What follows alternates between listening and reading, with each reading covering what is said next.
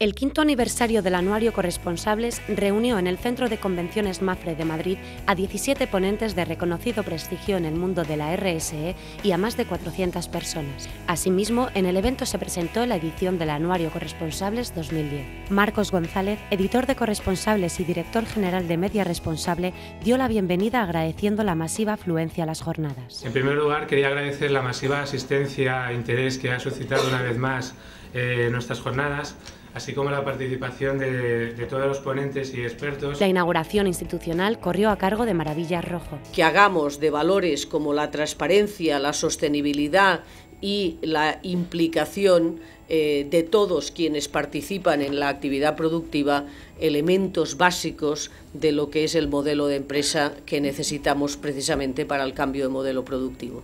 Cuando hablamos de sostenibilidad, tener en cuenta que la sostenibilidad es económica, social y medioambiental. La responsabilidad social empresarial debe ser el instrumento esencial que contribuya al tránsito de lo que antes un poco apuntaba la secretaria de Empleo. Contribuye al tránsito de la exuberancia financiera a la recuperación de la centralidad del valor trabajo. Juan José Almagro fue el encargado de moderar la primera mesa que contó con la participación de Antoni Vallabriga, Hernán Cortés y Teresa Millán. La ley por sí sola no resuelve los problemas, la ley probablemente apunta a la solución de los problemas y yo creo que no debíamos de olvidar nunca que las leyes también tienen que tener una base y esa base son los valores y los valores son la infraestructura moral básica de cualquier sociedad que, sea, que quiera ser justa y de cualquier sociedad que quiera ser equitativa. He hecho en falta un, digamos, un, compromiso por impulsar la inversión socialmente responsable en España. Un artículo con un foco en las pymes y con un foco en el tema famoso de la certificación. ¿no? Yo creo que si estamos hablando realmente de promoción de la responsabilidad social empresarial, deberíamos ir un poco más allá. ¿no? Había un principio muy claro en esta ley que era la sostenibilidad, pero la sostenibilidad desde el punto de vista más tradicional, la sostenibilidad eh, como utilización adecuada y responsable de los recursos para que las generaciones futuras también puedan seguir utilizando esos recursos.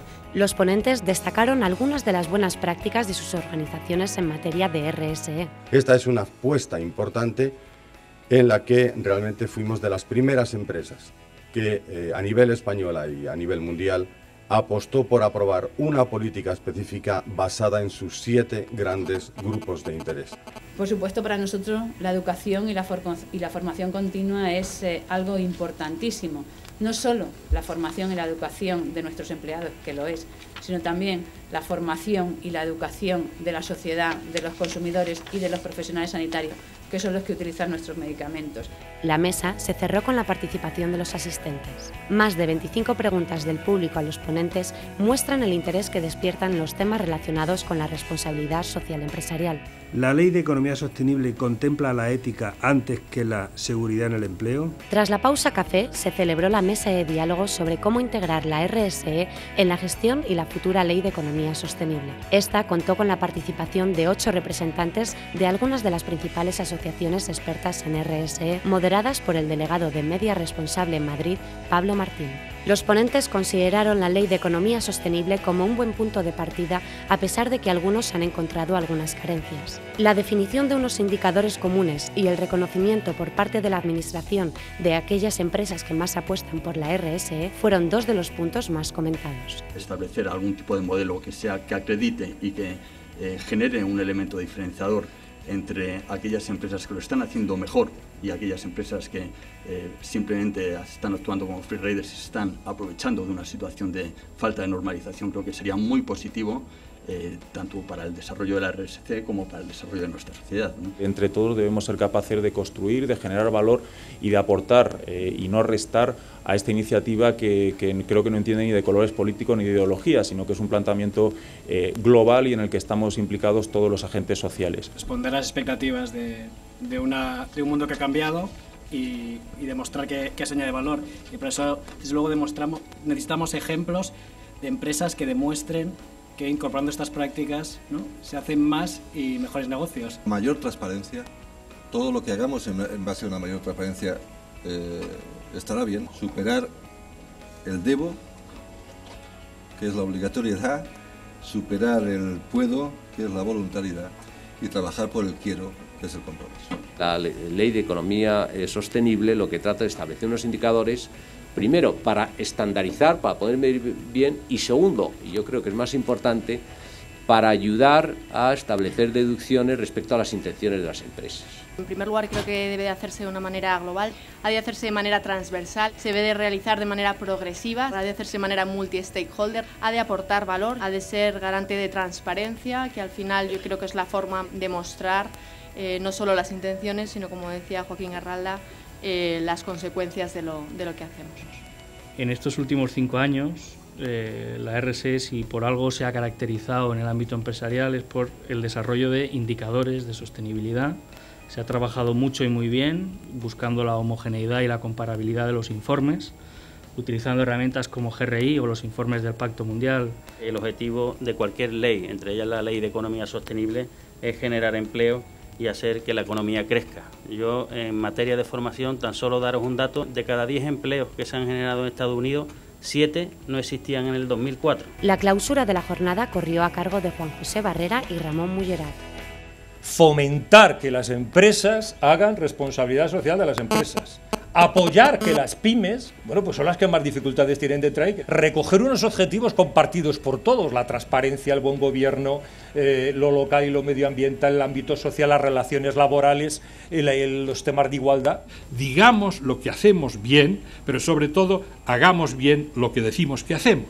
Se dice que en materia de derechos humanos el gran problema es que entre las declaraciones y la realidad hay una gran diferencia. Por la tarde se desarrollaron cuatro talleres monográficos, el taller Unilever Endesa sobre voluntariado corporativo, el taller Inforpress sobre comunicación interna, el taller Fundación 11 sobre discapacidad y accesibilidad y el taller MAFRE ISS Facility Services sobre conciliación e igualdad de oportunidades. En definitiva, la decimosegunda jornada corresponsables consiguió congregar, gracias al patrocinio de MAFRE, BBVA, Endesa y Ligi, a más de 30 ponentes de gran calidad y a más de 400 asistentes, algo poco habitual en este tipo de eventos. Al final de la jornada se repartió la quinta edición del Anuario Corresponsables 2010 la publicación de referencias sobre RSE en España, que incluye importantes novedades como la publicación de más de 20 tribunas de la alta dirección de empresas pioneras en responsabilidad social y más de 600 casos prácticos y buenas prácticas de empresas. Además, con motivo del quinto aniversario del Anuario Corresponsables 2010, buena parte de los ponentes felicitaron el trabajo realizado por el equipo de media responsable en estos primeros cinco años. En primer lugar, eh, felicidades por los cinco años y ojalá que, que cumpláis muchos más desde media responsable. Muchísimas gracias a todo el equipo de corresponsables por haberme invitado a participar en la inauguración de estas jornadas. Voy a felicitarles por el quinto aniversario y desear que podamos seguir cumpliendo muchos más. Será buena señal. Me debería limitar simplemente a felicitar y a darles la enhorabuena y desearles suerte. Enhorabuena también a Media Responsable por convocar aquí a, a tantas personas en esta jornada. Y felicito porque verdaderamente, no tanto por haber acertado, sino por haber dedicado el esfuerzo, todas esas iniciativas que está planteando, por el cual pues, ha tenido indudablemente su, eh, su peso, su granito de arena, o como queramos llamarlo, en el avance de la RSE en España. En primer lugar, eh, quisiera eh, obviamente agradecer a, al equipo de, de Media Responsable y a Marcos en concreto. Eh, primero felicitarle como siempre, ya parece que es un una tradición, ¿no? Felicitarle a él, a su equipo, a su equipo importante que siempre está trabajando ahí, Media Responsable, con, con, con su anuario. Son ejemplo de superación y probablemente ejemplo de coherencia, porque a lo largo de los últimos cinco años han sido capaces de poner eh, en marcha un proyecto eh, como el de corresponsable.